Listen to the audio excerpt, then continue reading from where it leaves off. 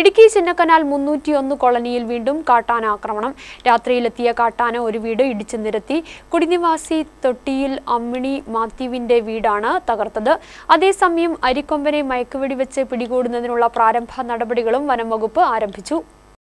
ചിന്നക്കനാൽ മുന്നൂറ്റിയൊന്ന് കോളനിയിലെ അമ്മിണിയമ്മയുടെ വീടാണ് രാത്രിയിലെത്തിയ അരിക്കൊമ്പൻ ഭാഗികമായി തകർത്തത്. പുലർച്ചെയോടെയായിരുന്നു സംഭവം. രോഗിയായ അമ്മിണിയമ്മ കഴിഞ്ഞ ദിവസമാണ് കോട്ടയം മെഡിക്കൽ കോളേജിലെ ചികിത്സ കഴിഞ്ഞ് എത്തിയത്. അമ്മയും മകൾ സാറമ്മയും മാത്രമായിരുന്നു വീട്ടിലുണ്ടായിരുന്നത്. ആർക്കും പരിക്കില്ല. അടുക്കള ഭാഗം കാട്ടാന പൂർണമായും തകർത്തു. സമീപവാസികളും വനപാലകരും എത്തി രാവിലെയോടെ ആനയെ തുരത്തി.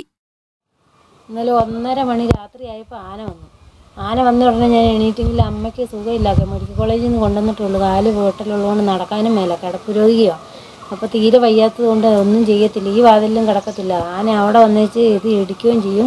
പിന്നെ ഇപ്പുറത്തെ വാതിലും തള്ളുന്നുകൊണ്ട് ഇറങ്ങിയും പോകത്തില്ല. ഒരു തീ കത്തിക്കാനും പറ്റുന്നില്ല. ഒന്നും ചെയ്യത്തില്ലാത്ത അവസ്ഥയായിരുന്നു. എന്താ ചെയ്യേണ്ടതെന്നുള്ള ഒരു വ്യവസ്ഥയെ കിട്ടുന്നില്ല. അപ്പുറത്തെ വാതിലിൽ ഇറങ്ങാൻ പോകുമ്പോൾ ആന അങ്ങോട്ട് വരും.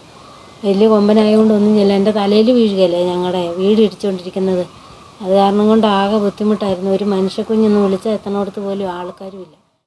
അതേസമയം അരിക്കൊമ്പൻ എന്ന കാട്ടാനയെ പിടികൂടുന്നതിനുള്ള പ്രാരംഭ നടപടികൾ തുടങ്ങി. അരിക്കൊമ്പനെ മയക്കുവെടി വെച്ച് പിടികൂടിയ ശേഷം തളയ്ക്കാനുള്ള കൂട് നിർമ്മിക്കുന്ന പണികളാണ് ആദ്യം നടത്തേണ്ടത്. ഇതിനുള്ള മരങ്ങൾ അടയാളപ്പെടുത്തി. പ്രത്യേക വലിപ്പത്തിലുള്ള മരങ്ങൾ കണ്ടെത്തി വയനാട്ടിൽ നിന്നുള്ള രണ്ടംഗ സംഘമാണ് നടപടികൾ പൂർത്തിയാക്കിയത്. ഈ മരങ്ങൾ മുറിച്ച് കോടനാട്ടെത്തിച്ചാണ് കൂട് നിർമ്മിക്കേണ്ടത് നിലവിൽ കോടനാടുള്ള കൂടിന്റെ സുരക്ഷയും പരിശോധിക്കും. ഇതിനുശേഷമായിരിക്കും chief veterinary surgeon doctor Arun സക്രിയുടെ നേതൃത്വത്തിൽ ആനയെ പിടികൂടുന്നതിനുള്ള ഇരുപതംഗ സംഘവും കുങ്കിയാനകളും എത്തുക. അതേസമയം നടപടികൾ വേഗത്തിലാക്കണമെന്ന ആവശ്യമാണ് മലയോരത്ത് നിന്ന് ഉയരുന്നത്.